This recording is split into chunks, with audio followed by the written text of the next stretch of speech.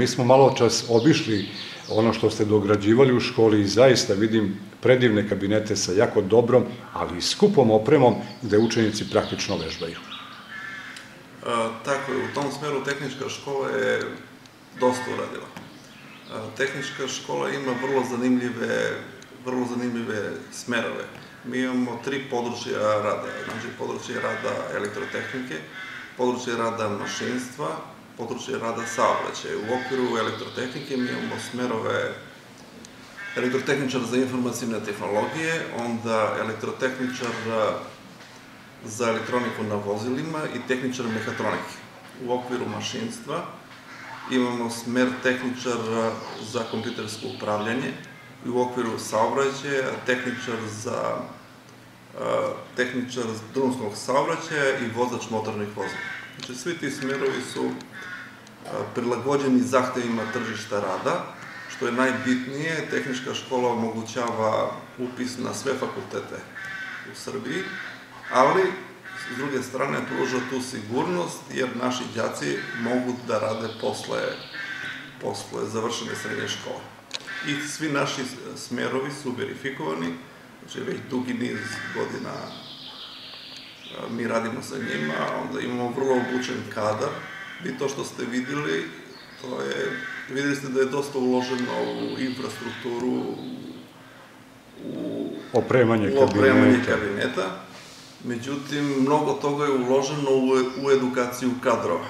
To prvenstveno mislim na edukaciju koja se odnosi na tu stručnu edukaciju. Mi imamo recimo kadar od 15 elektroinženjera, od 13 mašinskih inženjera, Svaki od njih je specializovao određenu delatnost, svaki od njih ima spisak obuka koji prolazi, znači dodatno se edukuje.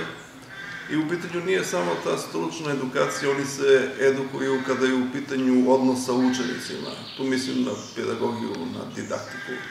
Jer ipak ti naši učenici, oni su sad u nekom periodu kada, da kažemo, u pubertetu i ima tu puno, puno energije koju treba usmeriti na pravi način, tako da naši, naši nastavnici to uspevaju. Znači, zadatak nastavnika nije samo da pruži znanje, da prenese znanje, već da učenika podrži, da sa njim ima jedan korektan odnos i da kao krajnji cilj učenik zavoli taj svoj predmet i svoju buduću struku. E, da ne bih sudio, ali na neki način mi se nismo najavljivali kada smo kabinete obilazili, a mogli smo da primetimo da je zaista radna atmosfera i da velika pažnja učenika postoji tu gde se radi gotovo u svim kabinetima u kojima smo da, bili. Vi ste obišli kabinete mehatronike i videli ste veoma skupu opremu, znači u pitanju su stotine hiljade evra. Znači ona robotska ruka koju, se, koju ste snimili, ona košta 20.000 evra. Videli ste one radne stanice, radna stanica je u stvari simulacija mašine. Ta mašina se programira. Znači, vi imate programiranje ne samo u IT sektoru, kada, su, kada je u pitanju tehničar za informacijne tehnologije. Vi imate programiranje kada je u pitanju mehatronika, samo što je tada u pitanju programiranje mašina.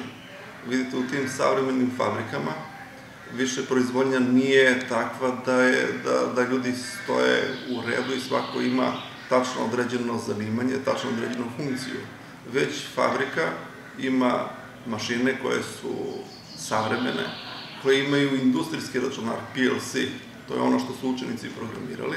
Pored toga ima računar koji šalje podatke serveru. Tako da u svakom trenutku vi u fabrici imate podatke koje se slivaju sa svih mesta i management u svakom trenutku može da prati stanje proizvodnje, kretanje radnika, kretanje mašina, i da ima jedan apsolutni uvid i pregled.